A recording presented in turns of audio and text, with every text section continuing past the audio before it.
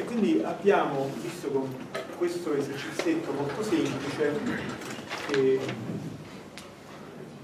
vale il principio dei lavori virtuali l'identità fondamentale della meccanica, cioè abbiamo scoperto che effettivamente se prendiamo un sistema equilibrato ed uno congruente, il lavoro virtuale esterno è uguale al lavoro interno. Insomma, questo è diciamo, l'esercizio che abbiamo fatto. Eh? Adesso facciamo per esempio un esercizio eh, utilizzando il principio degli spostamenti virtuali. Allora, che facciamo noi?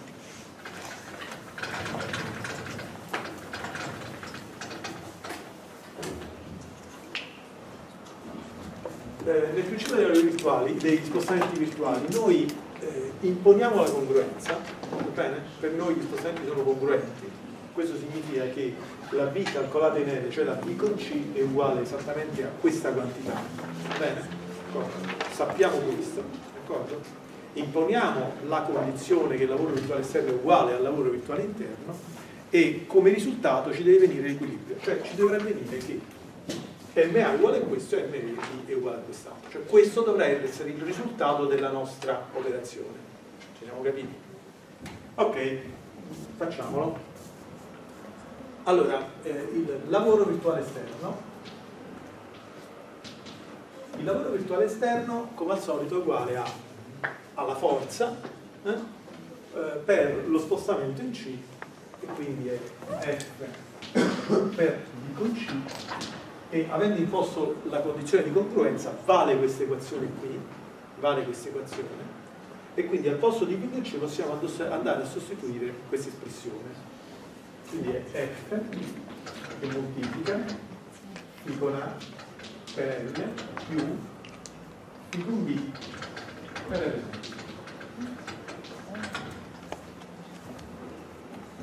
Va bene?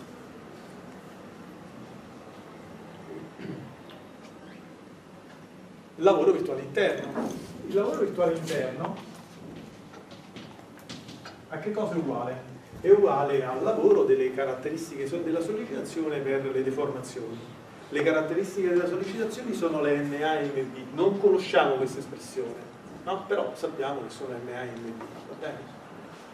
E le deformazioni sono le φ con A e φ con B. Okay? E quindi il lavoro virtuale interno altro non è che meno MA per φ con A meno MB per φ con B.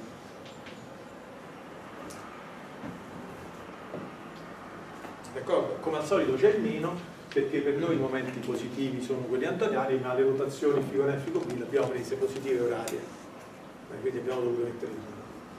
Bene, allora a questo punto imponiamo l'eguaglianza del lavoro virtuale esterno con il lavoro virtuale interno. Quindi scriviamo che lavoro virtuale esterno uguale lavoro virtuale interno. Che significa? Significa dire che questa espressione deve essere uguale a questa espressione.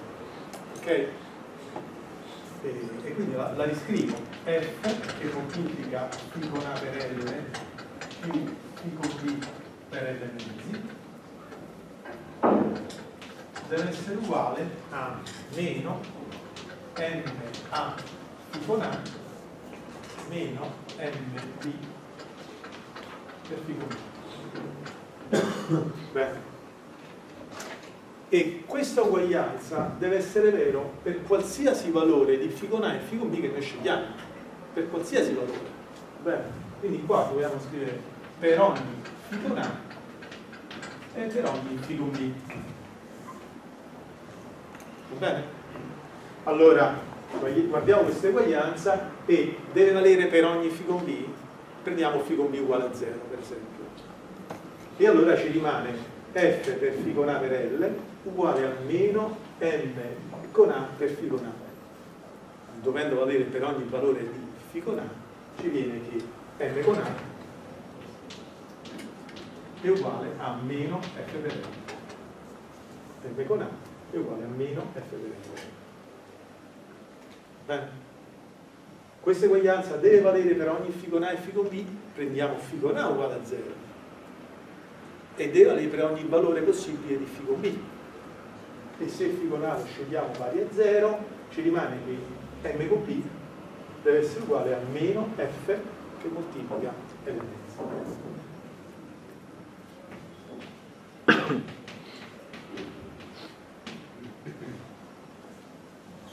E cioè abbiamo ottenuto esattamente queste espressioni qua per m con a e m con b cioè le espressioni delle sollecitazioni che equilibravano i carichi esterni quindi abbiamo scritto un'equazione di equilibrio eh? un'equazione di equilibrio tramite diciamo, la, scrittura, del principio della virtuale è chiaro?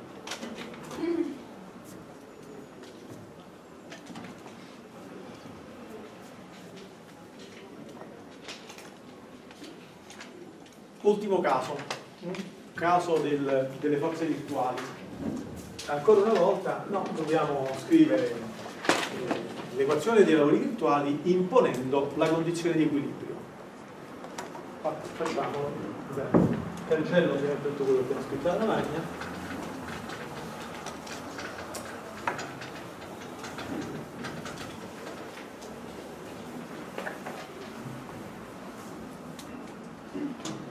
e come al solito dobbiamo scrivere lavoro virtuale esterno e poi il lavoro virtuale interno e naturalmente il codice uguale. Allora, lavoro virtuale esterno è uguale. Eh, il lavoro virtuale esterno, come al solito, è uguale alla forza no? moltiplicato lo spostamento in C, dico C.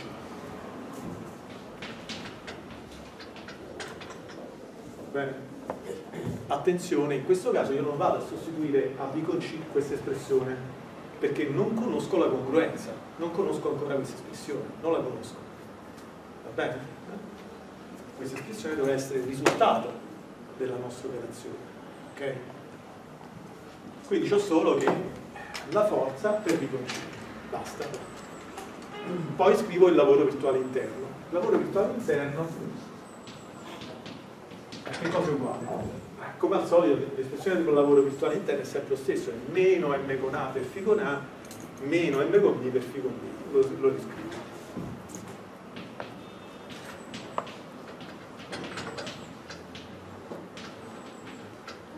D'accordo?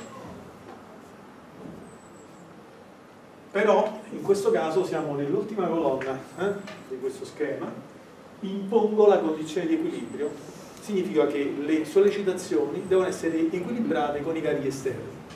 Quindi M con A deve essere equilibrato con F, quindi l'espressione di M con A è esattamente questa, l'espressione di M con B è esattamente questa. Le prendo e lo sostituisco nell'equazione.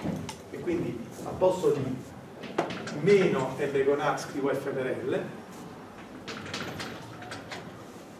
e al posto di per con A ovviamente e al posto di meno e con b, m con b scrivo f per l mezzi.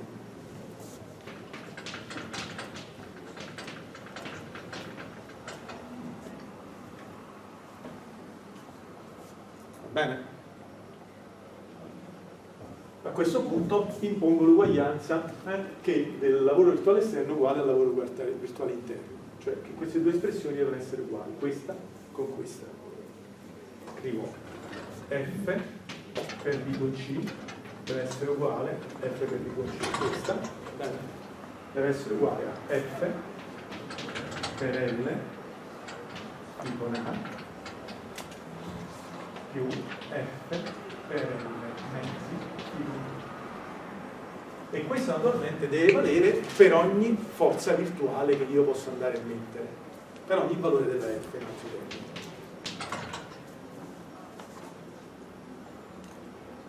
bene? per ogni valore della f. E dovendo valere per ogni valore della f, ovviamente ricaviamo che b con c è uguale a L per φ con A più L mezzi per φ con B. E cioè ricaviamo esattamente questa espressione qui. Qui abbiamo riottenuto eh, la condizione di congruenza. Bene? È chiaro? Eh, in realtà questo eh, modo eh, di utilizzare il principio delle virtuali, cioè questo delle forze virtuali, è esattamente quello che utilizziamo molto spesso quando noi vogliamo risolvere gli schemi versatici.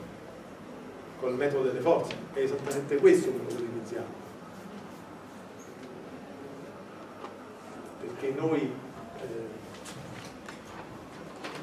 vogliamo imporre che uno spostamento è nullo di una certa sezione, per esempio, e come calcoliamo questo spostamento? Lo calcoliamo esattamente utilizzando un sistema equilibrato e imponendo la condizione di, del principio dell'uguaglianza. È esattamente quello che facciamo. Bene. Allora a questo punto eh, possiamo, fare, possiamo rifare qualche esercizio sul principio dei lavori virtuali, esercizi che già abbiamo fatto in parte quando abbiamo spiegato il problema della trave e il principio dei lavori virtuali sulla trave. Però rivediamo anche con questa ottica, eh, anche con questa ottica qualche esercizio sul, applicando il principio virtuale.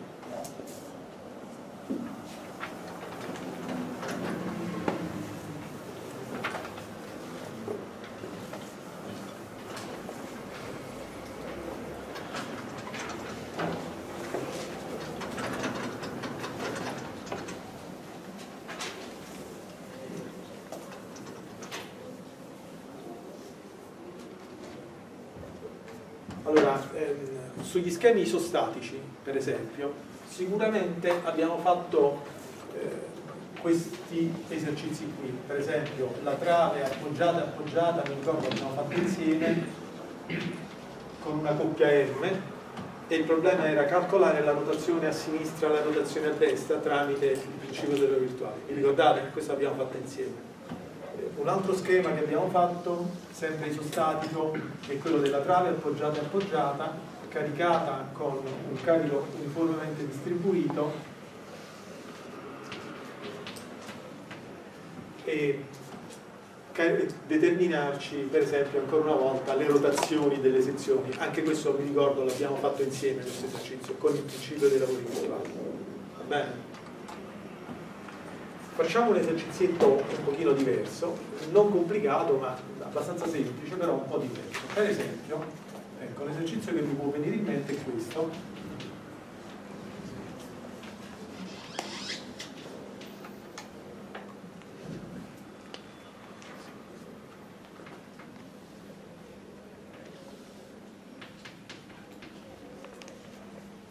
Ecco, questo esercizio qui, va bene?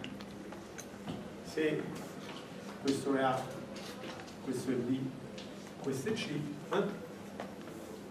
voglio calcolare la rotazione relativa delta phi d in corrispondenza di questa cerniera centrale bene, su questa struttura che ovviamente è una struttura isostatica va bene? allora eh, che cosa devo fare? devo definire un sistema degli spostamenti ed è il sistema sul quale naturalmente io voglio calcolare il mio spostamento, in questo caso la rotazione relativa, è un sistema delle forze che deve essere un sistema che ha delle forze che compiono lavoro esattamente per la mia incognita, cioè per la quantità che io voglio calcolare. Quindi il sistema spostamenti, ridisegno la stessa struttura di prima, è questa, questo è il mio sistema spostamenti va bene? il sistema delle forze è un sistema fatto così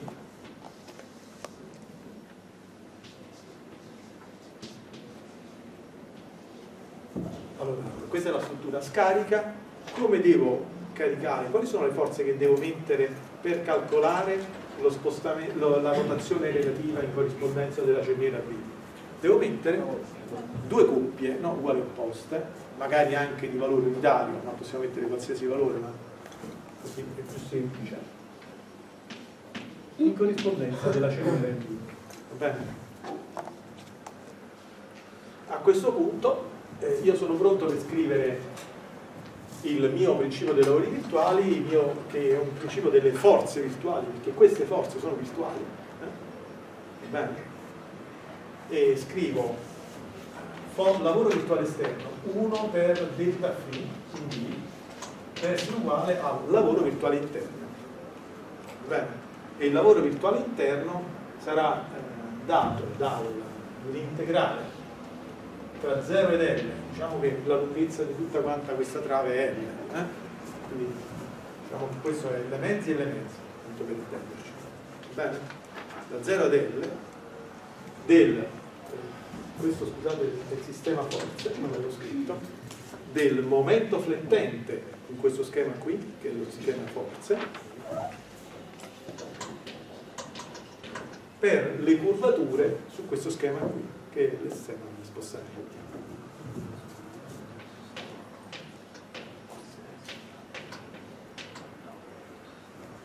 Va bene? Ci siamo? Allora, naturalmente il passaggio successivo che possiamo fare è dire ma in realtà questa curvatura la possiamo calcolare su questo schema a partire dal momento flettente, no? Perché sappiamo che il momento flettente è legato alla curvatura tramite I. Bene. E quindi possiamo scrivere questa stessa equazione come integrale tra 0 ed L del momento flettente sistema forze che moltiplica il momento flettente sistema spostamenti diviso in, dz.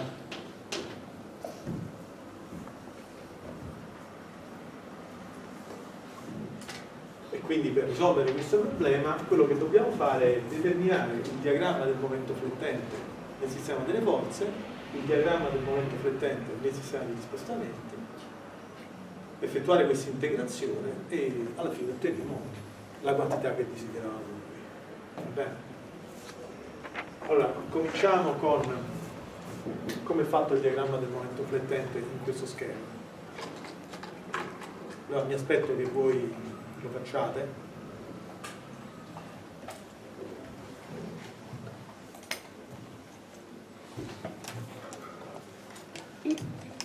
Michela.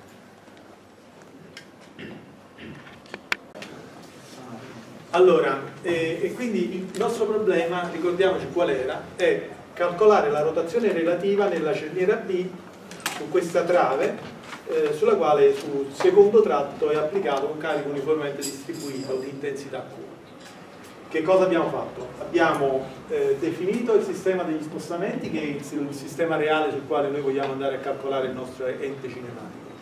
Poi abbiamo eh, definito il sistema delle forze, che è il sistema che è caricato da un sistema appunto di forze che compie lavoro per il nostro ente cinematico in corso. E in questo caso erano due punti uguali a posto in corrispondenza della cerniera. Abbiamo scritto a questo punto eh, l'espressione del principio dei lavori virtuali, e cioè lavoro virtuale esterno, queste coppie per la rotazione relativa in corrispondenza della cerniera B, bene, deve essere uguale al lavoro virtuale interno, e cioè il lavoro compiuto dal diagramma dei momenti flettenti nel sistema delle forze per le curvature nel sistema degli spostamenti. Eh, poiché in questo caso eh, la struttura che abbiamo a disposizione è caricata semplicemente da un carico distribuito, le curvature saranno puramente elastiche e quindi la curvatura la possiamo scrivere come il rapporto tra il momento flettente ed l'elasticità del sistema. Benissimo, dobbiamo quindi fare questo integrale. Per fare questo integrale la prima cosa che dobbiamo fare è trovare le espressioni del momento flettente del sistema degli spostamenti, delle forze e il, momento, il diagramma del momento flettente, l'espressione del momento flettente del sistema delle, delle, dei, degli spostamenti. Allora, eh, il sistema delle forze era il seguente, ovviamente abbiamo che in corrispondenza di, questo appoggio il momento flettente è nullo, in corrispondenza di questa cerniera il momento flettente è unitario, perché l'abbiamo applicato noi ed è unitario sia a sinistra che a destra. In questo tratto naturalmente l'andamento del momento flettente è lineare e quindi possiamo automaticamente tracciare questo, questa parte del diagramma del momento flettente e poi possiamo anche dire, proseguire il diagramma del momento flettente in quanto in questo secondo tratto eh, in corrispondenza di questa genera non ci sono forze concentrate applicate quindi il taglio non cambia e poiché non cambia il taglio la, la pendenza del momento flettente rimane esattamente la stessa, rimane costante e quindi abbiamo tutto il diagramma del momento flettente allora il momento flettente assume valore 2 in corrispondenza di questo incastro, naturalmente qua le fibre tese sono quelle eh, superiori e quindi per noi un 2 negativo, cioè un momento flettente negativo, eh, assume valore 0 qui e poi ha un andamento lineare. Eh, l'espressione del momento flettente per tutto quanto il tratto non è altro che questa, bene? questa espressione qua. Per z uguale a 0 naturalmente eh, il momento flettente vale, si semplifica questo LL, vale meno 2, che, che è il valore del momento flettente che noi conoscevamo, per z uguale ad L ovviamente questo fa 0 e quindi il momento flettente è 0. Bene, se vogliamo possiamo fare l'ulteriore prova banale, se z è uguale a L mezzi, ovviamente questo sarà meno 1. Eh, andiamo invece sul sistema degli spostamenti. Sistema degli spostamenti, noi abbiamo che c'è un tratto che eh, non è caricato, da un carico distribuito e un tratto che invece ha la presenza di un carico distribuito. Quindi già noi sappiamo che il diagramma del momento flettente deve essere in questo tratto lineare e in questo tratto parabolico. Bene. Che cosa abbiamo fatto per determinarlo? La prima cosa che abbiamo fatto è determinare queste reazioni vincolari, la reazione vincolare in particolare di questo appoggio qui che è l'appoggio C. Ok? Come l'abbiamo calcolata? Semplice. Abbiamo fatto l'equilibrio alla rotazione intorno a questa cerniera, dove il momento naturalmente deve essere nullo, dei carichi esterni e quindi della risultante del carico dovuto al, appunto, al carico distribuito meno l'effetto della reazione, va bene? È questa qui. Un po' di conti, questa reazione viene QL quarti, ok? E naturalmente per l'equilibrio della traslazione verticale, poiché tutto il, la risultante del carico distribuito è QL mezzi, per l'equilibrio alla traslazione verticale anche questo è QL quarti. Ci siamo quindi calcolati il momento flettente in corrispondenza di questa sezione facendo il calcolo del momento flettente provocato dal carico Q, bene, che lavora eh, questo carico Q, eh, l'intensità del carico, la risultante vale Q per L mezzi e naturalmente ha un braccio che è 3 quarti di L, eh, meno l'effetto di questa reazione vincolare che è QL quarti e ha un braccio tutto quanto L facendosi qualche conto, alla fine il momento flettente in corrispondenza dell'incastro viene QL 4 ottavi e tende le fibre superiori. Eh, la prima cosa che possiamo capire è che in questo tratto abbiamo detto già è lineare, qui sappiamo il valore del momento flettente, eh, l'altro valore del momento flettente lo conosciamo qui ed è 0 e quindi immediatamente sappiamo quanto vale il momento flettente, quanto, qual è l'espressione del momento flettente in corrispondenza di questo primo tratto. E in corrispondenza di questo primo tratto l'espressione del momento flettente è questa. Nel secondo tratto abbiamo un andamento classico parabolico, come dire, di trave appoggiata appoggiata, però su una luce eh, che non è tutta L ma è L mezzi facendo un po' di conticini che abbiamo fatto, abbiamo trovato l'espressione del momento flettente anche nel secondo tratto. Questa è l'espressione del momento flettente per Z compreso tra L mezzi e L. Ok? A questo punto, una volta che abbiamo le espressioni del momento flettente nel sistema forze e quello nel sistema spostamenti, possiamo entrare in questa formula e calcolare di conseguenza la rotazione relativa che cerchiamo l'abbiamo fatto, naturalmente l'integrale l'abbiamo divid dovuto dividere in due integrali, una somma di due integrali, cioè tra 0 e L mezzi e da L mezzi ad L, proprio perché il momento flettente ha due espressioni differenti nei due tratti, cioè il momento flettente nel sistema degli spostamenti ha due espressioni differenti nei due tratti, e, e ci viene questa espressione qua. Questo è eh, il momento per la curvatura nel tratto tra 0 e L mezzi, questa è l'espressione del momento per la curvatura nel tratto tra L mezzi e L. Un po' di passaggi, eh, un po' di semplificazioni e alla fine facendo vari eh, passaggi arriviamo all'espressione finale che è questa qui che ci fornisce la rotazione relativa in V tra le due sezioni qui in corrispondenza di questa cerniera. È chiaro? Volete fare domande?